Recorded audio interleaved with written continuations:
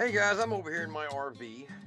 Um, sitting in here is the original thermostat, and it is terrible.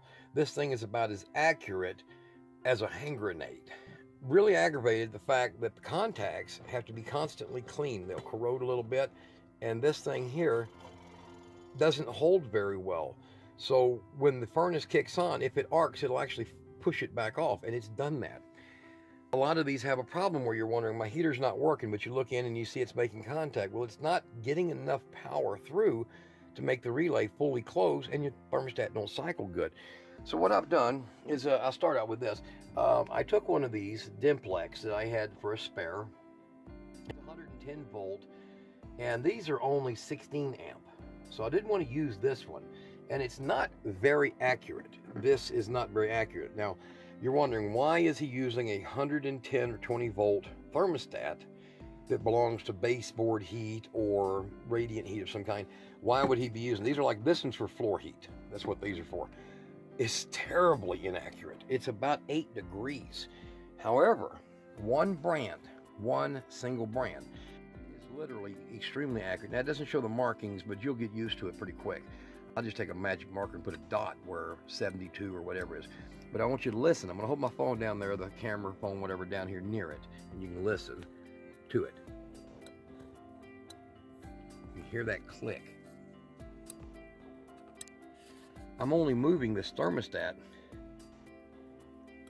about that far, about three degrees, three temperature degrees. Now, although this is for 110 volt, it's for 25 amps, I believe. 25, 22 amps. You see it up in there. It says 22 amps. Right there. 22 amps. Uh, one and a quarter or one and a half horsepower. And if you do the math on it, that means it'll handle about two and a half amps of 12 volt. Over here is this over here is only one amp. It only requires one amp. But at one amp, these contacts, man, they're about freaking worthless. So what I'm gonna do is I'm gonna show you how easy this is to change out. So I'm gonna pull this loose. Here's my wires coming in for my thermostat, my two wires, and I just twisted them together to try this out. So we'll take them loose and no need to kill the power. Now this is positive, but I'm, I'm, this is a wood wall. I'm not worried about it. Take the screws out and I'll remove this and I'm going to show you how I'm setting the next one in the old thermostat removed. However, this model right here is very accurate, and now you can probably hear it better. You hear the clicking? Very positive contact in there, right inside of there, and it's pushing on a reed switch in here, and doing my math on it's actually almost two and a half amps it will handle without any issue. It'll probably do 10, but it'll handle two and a half without any issue on a one amp circuit. Um, and actually it's 0.96 is what it calls for on the anticipator. We have to get the pocket enlarged for this to fit into the pocket. And I'm going to go ahead and mount it at that angle, maybe go in this direction or that direction, so that it's uh, covering the existing holes. And you'll see here that it'll look about like that. So not, not terrible, and it'll come out pretty nice. The one thing you want to be sure to do, and a lot of people err on this, if you change out a thermostat for an RV, please realize your walls are thin. They're, they're not real thick. And the cold from behind the wall, see all the holes? They will affect the thermostat. So even though your thermostat, you're setting it on 75 degrees and it's like, man, it never gets over 60 in here, it's because the cold transfers through. And one of the best things to do is put you some fiberglass behind it to insulate it away from the cold.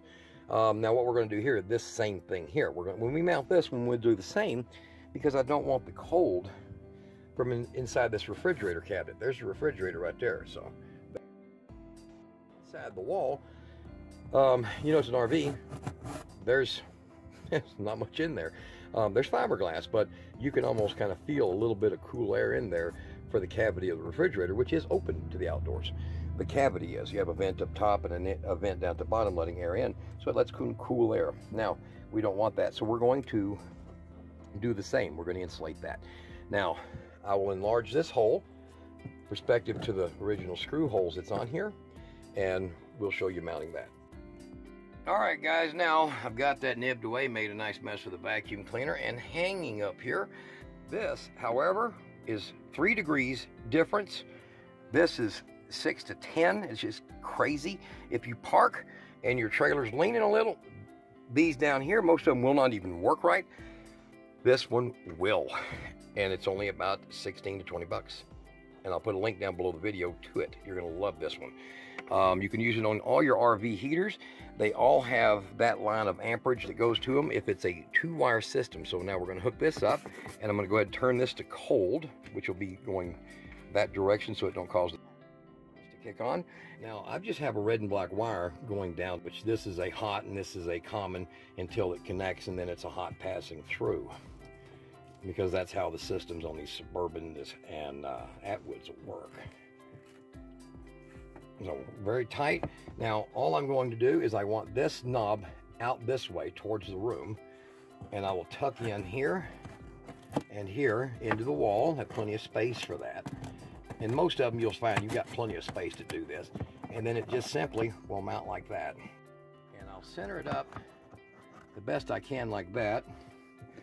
I've got quite a bit of insulation in behind there and I'm gonna stuff a little more in there just because I don't want no leakage coming up through there, cold air from the outside. All right, run them in. And then I want to square it up pretty nicely. You know, you don't have to worry about these as far as leveling your vehicle. These don't need that. So I just want to do it cosmetically speaking, and then put the other screw in just until they touch good. Don't over tighten. So the cover will go back on. There's 40 degrees, so you can actually use this for 40 degrees. You can set it down at 40. If it gets almost to freezing in your RV, this will kick on your furnace. All right, and one note, you can put a toggle switch underneath it to bypass this. So if you don't want it to kick on at 40 degrees, you can flip the toggle switch or you can pull the fuse out. They're usually labeled well. Pull the fuse out in the wintertime if you don't want your furnace to run or disconnect your batteries, which is what most people do. Most people take their batteries out of their coach or RV during the wintertime. So now we're going to kick it on here. Right there. So this is 50, 60. Um, this is supposed to be, I believe, 70, 75. So right there is about 72, about the temperature inside here now. So it's kicked on. The furnace is going into its beginning cycle and here pretty quick it will start running. And I'll just put this down here. I have to speed it up. It's about a 20 second delay. And that is as easy as it gets. Pretty simple. Yes, I know. It's crooked. But it mounted in the original sp spot and it's no more of this crap. So we don't have to worry about that anymore. And with a standard thermostat, not like a house, a house requires a particular type of anticipator that will run the fan a particular amount of time. But these furnaces are set up with a air blower that blows out the gas or fumes and before it allows new gas to come in and it don't matter. They just need a positive contact. You could just use a light switch, work that well. It works better for this purpose.